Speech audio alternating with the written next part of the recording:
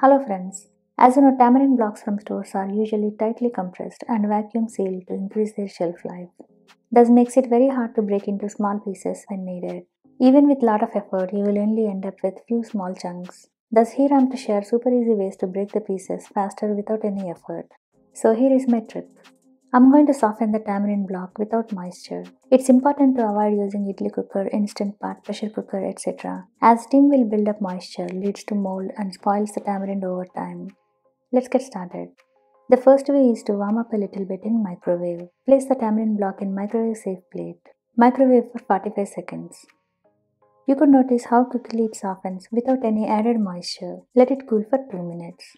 Now it's super easy to break into pieces in no time. You can see how easy, fast and effortless it is. If it's not soft enough, microwave a few more seconds. It took only one and a half minutes for separating the entire block. Check these ways if you don't have microwave or you don't want to use it. Second way is to place tamarind block on hot food like freshly cooked rice or over boiling water. Leave it for few minutes until it softens. Make sure not to cover the tamarind with lid to avoid moisture buildup. Third way is with air fryer. Place tamarind block on air fryer tray. Insert in middle row of the air fryer. Reheat at 325 Fahrenheit for 4 minutes.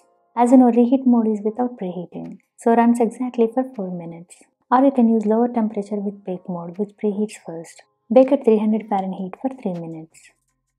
If needed, increase the timer by 1 to 2 minutes until it's warm enough to soften. As you see, it's so easy to break into pieces. Try these ways as needed to keep your job easy. After tamarind is completely cool for 5 minutes, store in airtight container or ziploc bag. Hope you like my tips. See you again with many more tips and healthy options. Thanks for watching.